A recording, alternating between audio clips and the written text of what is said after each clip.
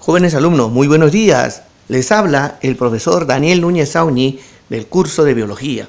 El día de hoy vamos a desarrollar dos temas importantes. Uno, conceptos básicos de biología. Y dos, las teorías del origen de la vida. Ahora sí chicos, vamos a empezar. La palabra biología proviene de dos vocablos griegos. Bios, que significa vida, y logos, que significa tratado o estudio. Por lo tanto, la biología es la ciencia que estudia los seres vivos, que incluye su estructura, origen y evolución, clasificación y distribución e interrelación. ¿Ya? Vamos ahora a las ramas de la biología. Como vemos ahí, la bioquímica. La bioquímica estudia a los elementos y moléculas en los seres vivos. Quiere decir bioelementos primarios, bioelementos secundarios, macromoléculas, eh, asociaciones supramoleculares, los elementos que son importantes para la estructura de cada organismo. Punto 2. La biofísica estudia los procesos energéticos. Energéticos como la fotosíntesis, la respiración celular y las transmisiones nerviosas. Citología. Bueno chicos, citología lo sabemos todos nosotros. O es el estudio de la célula. Ahora vamos al punto número 4, genética. La genética estudia el mecanismo de la herencia y la variabilidad de los seres vivos. La taxonomía jóvenes estudia la clasificación y los nombres científicos de cada especie. Por otro lado, la zoología es la ciencia que estudia a los animales. Bueno, también tenemos a la botánica, chicos. La botánica es una rama de la biología que estudia a las plantas. La bacteriología vamos a ver que es una ciencia que se encarga de estudiar a las bacterias o es una rama de la biología que estudia a las bacterias. También tenemos la virología, su propio nombre lo dice, o es una rama de la biología que estudia a los virus. La ecología es la ciencia que estudia a los ecosistemas, es decir, la relación de los seres vivos con el medio ambiente. Ahora vamos a la etología, es una ciencia natural que estudia el comportamiento animal, como por ejemplo el cortejo que va a realizar el macho para poderse aparear con la hembra. Vamos ahora a la evolución. La evolución estudia los cambios de los seres vivos a través del tiempo. Todos los conceptos de biología se va a estudiar desde el punto de vista de la evolución. La paleontología estudia los restos fósiles. Al igual que la filogenia, estudia la evolución de los seres vivos. Ya para terminar tenemos ahí a la histología que estudia a los tejidos. Ya chicos, sea tejido vegetal o tejido animal. Bueno, por último, ya para terminar, tenemos a la embriología que estudia el desarrollo del embrión. Bien chicos, vamos a la segunda página por favor. Ahora veamos las teorías del origen de la vida. Bien, hay que entender de que existen dos teorías muy importantes. La primera se denomina la teoría creacionista, que nos va a indicar que un ente poderoso va a formar, va a crear todo el universo conjuntamente con los planetas y las estrellas y sobre todo la vida. Ese se denomina teoría creacionista. Y la otra, que es científica, se va a denominar la teoría evolucionista. Viendo estas dos diferencias, nosotros vamos a estudiar por favor las teorías de la evolución. Empecemos por favor con el punto número uno o la primera teoría que dice teoría de la generación espontánea.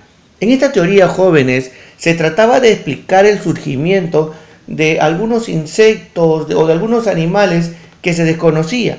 Por ejemplo, si enterrábamos eh, la cabeza de, de una res, Después con el tiempo salían las abejas y si enterrábamos la cabeza de un caballo, de ahí salían las avispas. Son teorías que trataban de explicar el surgimiento de estas especies. Por ejemplo, tenemos ahí, a ver, mira, ¿qué dice? ¿Qué dice?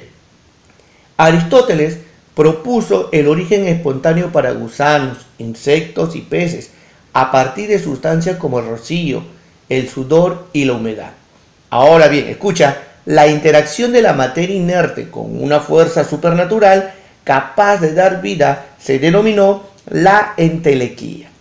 En el año de 1667, el vitalista Van Helmont dio una receta en la cual las criaturas como los piojos, pulgas y gusanos nacen de nuestras entrañas, animados por la fuerza vital del alma humana, que incluso es capaz de impulsar el desarrollo de ratones a partir de la ropa interior con sudor y una porción de trigo. Si nosotros vemos el experimento de Van Helmont, él nos decía, así miren, si colocamos ropa interior llena de sudor con trigo en un recipiente de boca ancha, al cabo de 21 días el olor cambia y el fermento, surgiendo de la ropa interior y penetrando a través de las cáscaras de trigo, cambia el trigo en pequeños ratones. Lo más notable aún es que se forman ratones de ambos sexos y que estos se pueden cruzar con ratones que hayan nacido de manera normal. Por lo que es verdaderamente increíble es que los ratones que han surgido del trigo y la ropa interior sudada no son pequeñitos, ni deformes, ni defectuosos, sino que son adultos perfectos. Bien jóvenes, ahora vayamos al experimento de Francisco Redi. ¿Ya? Francisco Redi fue contundente. Él decía, no hay generación espontánea de moscas. Te explico. Francisco Redi, un médico de origen toscano, realizó un experimento cuestionando la generación espontánea. Logró demostrar que los gusanos que infectaban la carne eran larvas que provenían de los huevecillos depositados por las moscas. Si vemos el gráfico, observamos tres recipientes en las cuales la primera está totalmente abierta, la segunda está cubierta con gasa, pero la tercera está cubierta con un pergamino, prácticamente está sellado. Además, Francisco Redi había colocado en cada uno de los frascos un trozo de carne. El primer recipiente lo dejó abierto y observó que las moscas ingresaban en el frasco. Luego de un tiempo se veía que de la carne salían gusanitos. Con eso se concluye que las moscas depositaban sus huevos y de ahí salían los gusanitos. En el segundo experimento, Francisco Reddy selló el envase con una gasa. El olor putrefacto de la carne hacía que las moscas lleguen a ella. Pero como no podían ingresar al envase de vidrio, estas depositaban sus huevos encima de la gasa, nuevamente salían los gusanitos en la gasa. En el tercer experimento, Francisco Reddy había sellado herméticamente el recipiente, de tal modo que no atraía las moscas. Ninguna mosca pudo ingresar. En el tercer envase, Francisco Reddy había colocado la carne y lo había sellado con un pergamino, de tal modo que las moscas no se acercaron a la carne. Luego de un periodo de tiempo no surgió ningún gusano. De este modo, Francisco Reddy intentaba demostrar la incongruencia de la teoría de la generación espontánea. Vayamos ahora a Nithan versus Spallanzani. La confección del microscopio trasladó el problema de la generación espontánea al mundo microscópico. En Inglaterra, John Needham intentó probar que surgían microorganismos animados por la fuerza vital presentes en la materia orgánica en descomposición constituida por caldos nutritivos. Frente a ello, Lázaro Spallanzani demostró que los resultados experimentales de Needham solo eran consecuencia de una contaminación previa con microorganismos y no de la generación espontánea postulada por los vitales. Si vemos los gráficos chicos, que en el año de 1745 Needham sostenía que los microorganismos podían surgir de forma espontánea de un caldo nutritivo colocado. Needham descubre que la teoría de la generación espontánea es correcta. Pero por otro lado, en el año de 1765, Lázaro Spallanzani va a repetir el experimento de Needham y surgió que los resultados obtenidos se debía al ingreso de microorganismos del aire en el caldo. Spallanzani tenía un frasco en el cual había quemado la puntita del recipiente para evitar que entre o salga algún microorganismo. Entonces lo lleva al fuego y luego lo deja reposar. Luego de unos días va a romper el frasquito y coge una muestra y lo lleva al microscopio. Observa ahí de que no existen microorganismos. Bien jóvenes, vayamos ahora a la teoría de la biogénesis. Nos dice ahí, en 1861, Louis Pasteur demostró finalmente la incongruencia de la generación espontánea, así como la falsedad de los resultados experimentales anteriormente obtenidos. Louis Pasteur demostró que no ocurría desarrollo de microorganismos si previamente no había contacto con el aire, de donde provenían los gérmenes que crecían sobre los medios de cultivo utilizados en los experimentos. Utilizó en sus experimentos las denominadas matraces cuello de cisne, en lo que colocó líquidos nutritivos estériles que permanecieron exentos de contaminación, a pesar de su contacto con el aire a través del cuello de cisne.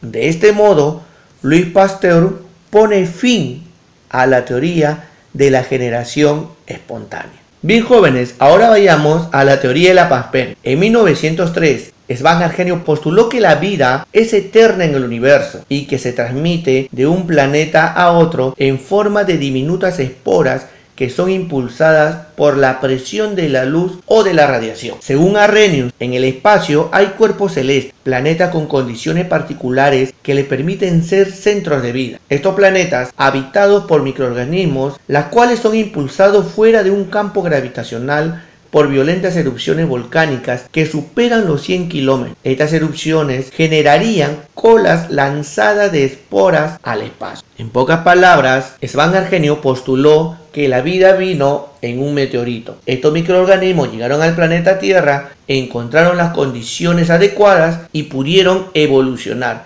Bien jóvenes, veamos ahora la teoría quimiosintética, propuesta por Oparin y Halda.